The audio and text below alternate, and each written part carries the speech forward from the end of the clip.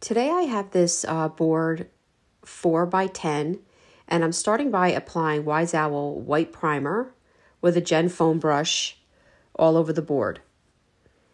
Now, if I knew I wasn't using white, I would not have added the primer, but I knew I was using white and I didn't want the knots to bleed through.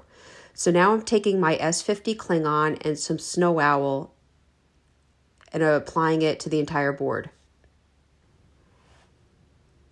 Now, just using a random box that I had, I took a chalk pencil and traced the sides and then hand sketched in the corners because I wanted them to be more rounded. So I kind of wanted an oval shape. What I like about the chalk pencils is you can easily remove it with an eraser or the paint does cover it. It's not going to bleed th- back through the paint. So using some Wise Owl Black and an art brush, I'm going to start by uh, going over and tracing out my lines that I created. Now, for just random crafts, nothing serious, I do get my art brushes at Dollar General. They come in a pack, and I actually really like the way the paint goes on with them. I think they're about $3, and I think you get about four in a pack. I do like the fatter ones that come in the pack, but um, I do pick up cheaper brushes there if I'm just doing um, easy touch ups like this.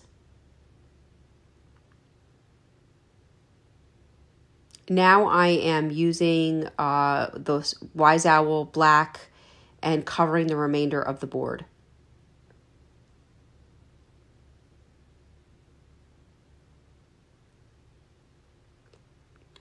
Now, I'm going to use some random items here today. Uh, I do find that eggs, this is uh, an egg puzzle type thing that I got at Dollar General for $2 around Easter, and I'm using them to create feet.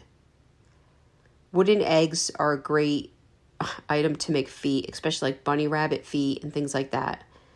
So that's what I'm using. I have my S30 if anybody wanted to check out the size. This is a nice craft Cling On brush. It's the smaller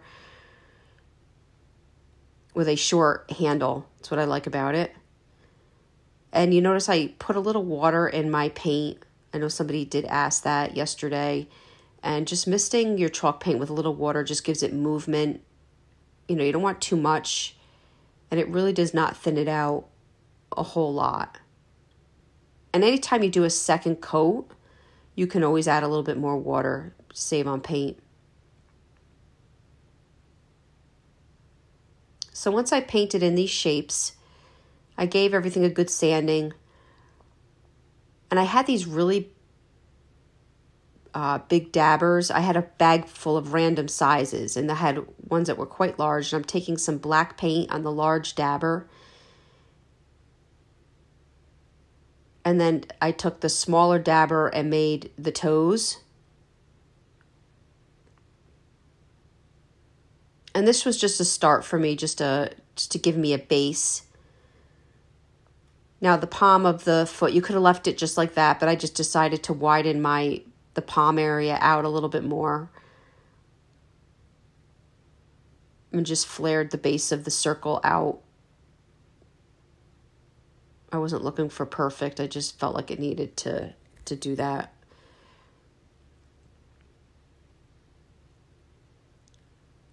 So once that was dry, I took out my ruler stencil. This is going to be a growth chart. And I'm using Citron by Wise Owl and a dabber. Just a little tip, taking a long paintbrush handle and holding your stencil down so you don't get any movement helps. So I just went up the board with that. I believe the ruler stencil is in our Amazon store. If anybody needs it, just remind me and I'll post a link. And these are just numbers that we got at Michael's. And I'm starting with the number two. Remember, all these uh, paints and brushes can be found at chalkitupfancy.com. I'm filling in my stencils with an art brush.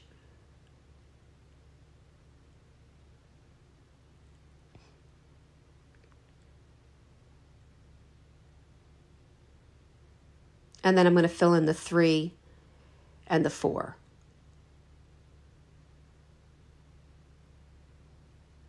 Once this was all dry, I took my Wise Owl one hour enamel and another Jen foam brush and applied it to my entire board.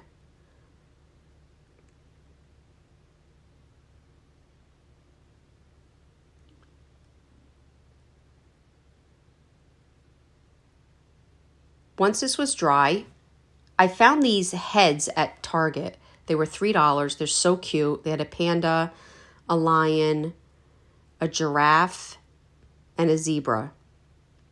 They all fit this size board quite well, except for the giraffe. The giraffe was a little too thin, but here they were $3 at Target.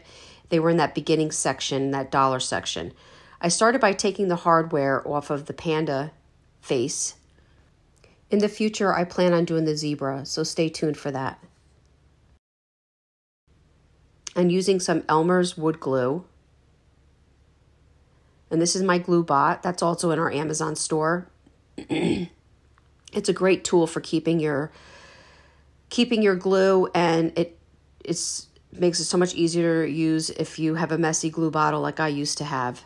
And then I just glued that to the top. And now you have this cute growth chart uh, for a child in their room. It's a great nursery gift as well. Guys, I hope you enjoyed this video. If you'd like to see other tutorials, go check us out on YouTube. You can also watch on our webpage, chalkitupfancy.com. Thank you for watching.